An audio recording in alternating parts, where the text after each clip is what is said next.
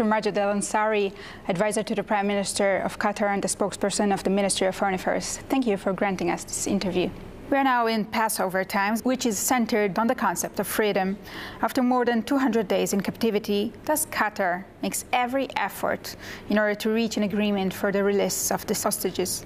Well, since 2006, Qatar has uh, played a pivotal role after it was asked by the United States to establish a channel of communication with uh, Hamas in de-escalation and uh, mediation between uh, both sides. We have done so countless times since 2006 and especially post 2014 and we have succeeded to avert major conflicts and major escalations between both sides and to de-escalate at so many times, including uh, and up to the 28th of September of uh, this year when uh, mediation uh, succeeded in reaching a deal between uh, both sides. And obviously, while the parameters have shifted, post the attacks of the 7th of, uh, of October, we have immediately resumed our uh, role on the 8th of October, reaching out to both sides and insisting that uh, we start immediately with mediation, especially since we uh, got the information that there are civilian lives at uh, stake and lives at stake of the hostages, and of course, furthermore now with the current conflict.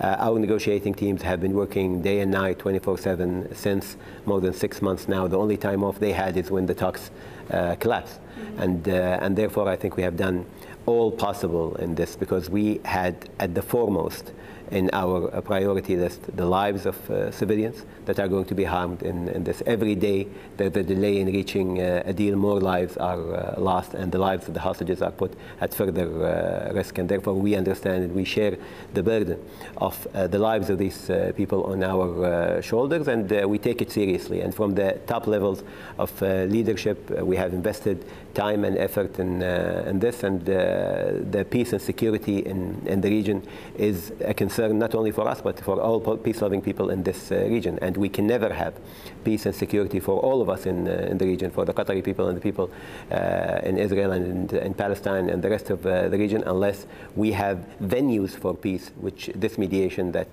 we are leading is, of course, paramount to right. Is Israel making every effort to fulfill its obligations? I mean, we have voiced our uh, frustration uh, with the, the, commitment level of both sides. Uh, we are reassessing our role as uh, mediators as a result of uh, our uh, feelings towards the uh, seriousness of both sides in reaching uh, a deal. We believe that a lot more can be done from both sides and that we are doing all that we can right now and we need more pressure on both sides in order to reach a deal. You're saying both sides, but the head of the CIA and Secretary Blinken uh, accused Hamas and blaming them for this situation right now, for the absence of the ceasefire. And there appears to be a lot of uh, compromise made by the Israeli side in order to reach a deal. Can you relate to that?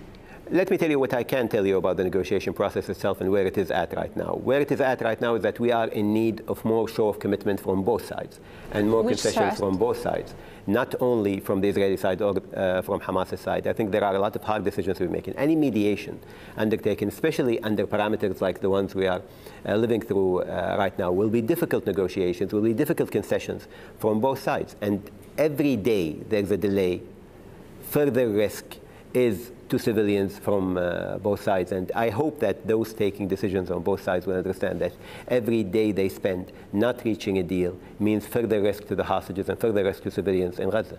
Do you believe Netanyahu is not understanding this statement? I won't comment on individuals on, uh, on this because I think this is bigger than uh, individuals. But what I can tell you is that there is a lot of political posturing. There is a lot of very narrow political calculations that are impeding the negotiation process, impeding from the, the Israeli side again, from both sides. And we have taken uh, very clear positions on this, and we showed very clear statements on this, because we believe that this is not the time for political calculation. This is not the time for political posturing. This is not the time to put your own personal political future ahead of the lives of the hostages and the civilians in, uh, in Gaza. With the terrible situation, humanitarian situation we have right now, we hope that all those involved, just like the officials here in, in Qatar, would have only one thing on the top of their mind, which is the humanitarian loss and the humanitarian cause within ending this conflict. If Israel will operate in Rafah, how this might affect the negotiations? Obviously, every escalation that takes place uh, on the ground has its bearing on the negotiation process. And we have said that 10% uh, of the land in, uh, in Gaza houses now more than 1.7 million people. No military operation can be a safe operation that would protect the lives of civilians within these kind of uh, parameters. The humanitarian situation in Rafah is already dire.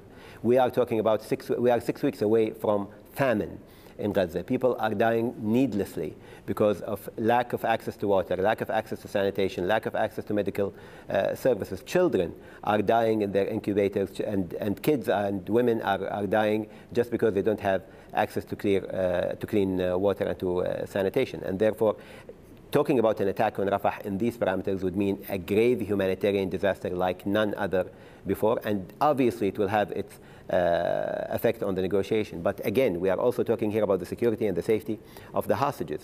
Every escalation on uh, the ground puts hostages at further risk, and we need to give the priority right now to getting the hostages back to their families and protecting civilians. Some Israelis will say Qatar has the leadership of Hamas, the terror organization, who is responsible for the most horrific attack on Jews since the Holocaust. The easy decision would have been to simply raise our hand and say nothing can be done about this and leave it as it is. And this is, I would have uh, believed that uh, the, mo- the biggest mistake would have been not to have a mediation process post the 7th of October. We are having uh, the most difficult discussions over ending this conflict, over getting the hostages back home. But the alternative to this would be not having these discussions at all, not having any chance of the hostages returning to their families or protecting the lives of the civilians in, uh, in Gaza. Having this role as mediator requires a lot of actions from our side as mediators. We have never been passive mediators. When we were asked by the United States to open this channel of communication with uh, Hamas, of course, there was a calculated risk that Qatar would have to take in a lot of heat as a result of uh, playing that uh, role of hosting uh, Hamas here in, uh, in Doha. But that is what enabled us to hold all of these mediations that took place all throughout uh, the years since 2006 to, uh, to today. And right now, the only reason we have this office here in, uh, in Doha is for the mediation process itself that is undergoing right now. So we feel surprised that those who are benefiting from the process itself and benefiting from the mediation itself right now and are engaged in that uh, negotiation would criticize Qatar for hosting uh, the political office here in, in Doha when it is the only venue for holding that mediation. You've been active also regarding the transferring of aid of money towards Gaza. What is your answer to those who say Qatar transferred hundreds of millions of dollars to uh, Gaza, and by that Hamas have enough money in order to facilitate terror? Let me be very clear on the aid that was delivered to Gaza. First of all, as I said, we were never passive mediators. In every mediation that succeeded, that Qatar participated in, we paid into peace uh, and stability if you look at uh, uh, the negotiations Which is something that didn't happen. There is no peace and no stability. While we were doing all these countless mediations between uh, Hamas and, uh, and Israel, we also committed to the reconstruction in Gaza because providing the people with hope, providing the people for, uh, with a chance to live naturally and for prosperity is the only way to get out of the cycle of violence. And uh, we have been able to avert war so many times as a result of having such aid. But let me tell you very clearly, all of that aid was part of a mechanism that included complete Israeli oversight, complete Israeli vetting, even of the families that received the $100 a month aid uh, through the, this uh, process. That was done under the oversight of uh, the Israelis with complete vetting from the Israeli side. And we are uh, appalled by the fact that some of the officials who actually worked on the process itself and at sometimes came to Doha and demanded that Qatar increase its aid to, uh, to Gaza or continue its aid to Gaza when Qatar was reconsidering, that these same officials would go out and accuse Qatar of sending that money to Hamas. This money, the checkpoints were there, they were established by the uh, Israeli government. The money actually went physically to Israel. The money that uh, went there for buying the, the fuel was actually sent through Israel. The fuel was bought in, in Israel and then moved to Gaza in a secure manner and immediately plugged into uh, to the grid. The aid that went in also went in with oversight from international organizations, and there was a clear vetting process for all the families, and there was a clear reporting back uh, mechanism to, uh, to the Israeli uh, agencies. And therefore, there were the checkpoints and the, and the guarantees in place to make sure that none of that money has went anywhere else. This was done for humanitarian reasons, and the, the, the lack of peace and security that we have here today is not a result of sending aid to the people of Gaza. It's a result of the lack of commitment to peace from both sides. I want to show you a statement of uh, one of the parliament members um, just days ago saying very harsh comments regarding Jews and regarding Israel. لن يكون هناك سلام ولا تفاوض مع الكيان الصهيوني لسبب واحد فقط لأن عقيدتهم أصلا لا تعترف بالتفاوض بل بالمراوغة ونقض ونقض العهود والكذب وها هي المبادرة العربية مضى عليها الآن أكثر من 22 عاما ولم يعترفوا بها فقط يعترفون بشيء واحد وهو القتل فهم قتلة الأنبياء And I wonder, does this represent the Qatari public nowadays? Let me be very clear on, uh, on this. The individual in uh, question is an elected member of the Shura Council here in uh, Qatar. His views obviously do not represent the views of the government of uh, Qatar. Our views, especially regarding hatred, anti-Semitism, Islamophobia, and all forms of uh, racism and uh, hatred have been very clear throughout uh, the years. You know, Qatar is a multicultural society. You've been here in, in Qatar. Anybody who visits Qatar will understand that people of different faiths, backgrounds, uh, national backgrounds, or racial uh, backgrounds will be over the place here in, in Qatar. So this multiculturalism is something that we celebrate, something that we believe in.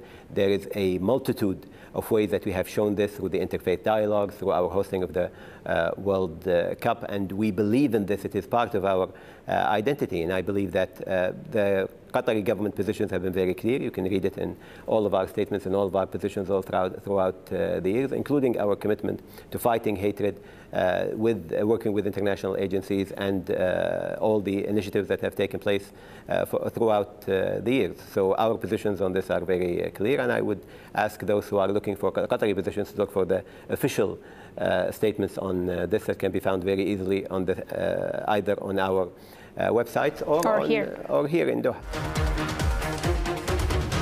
Another obstacle regarding the relations between Israel and Qatar was uh, the prohibiting of Al Jazeera. How do you prospect this act from the Israeli government? Al Jazeera is an independent uh, media outlet, and I'm sure as a journalist you uh, value very highly your uh, independence. Uh, Israel tend to see it as a, a station that glorifies terror again, uh, I can't speak here on behalf of an independent media outlet. I would encourage, of course, uh, direct engagement with uh, Al Jazeera itself. I would love to see an interview between you and uh, somebody from either. Al Jazeera to uh, speak about this. But our positions on this very clear. We respect media freedom, and we uh, hope that all the governments in the world would allow journalists such as yourself the freedom to act without any censorship.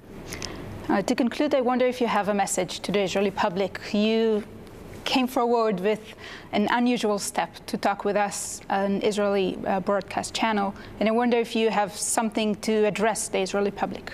You know, in Qatar, this is a peace-loving country with a peace-loving people. Our history has shown throughout, uh, you know, the years how we have always believed in the cause for peace. We have always believed in dialogue, and we have always believed in uh, being there for our friends and uh, partners when need uh, be. I think a lot of the uh, misinformation and disinformation about Qatar has to do with ignorance and have to do with a lack of understanding of who we are and what we do. And uh, through engagement, we hope to change that. Dr. Majid Al-Ansari, thank you for this interview, and I hope to see you soon in Tel Aviv or in Doha. Thank you very much.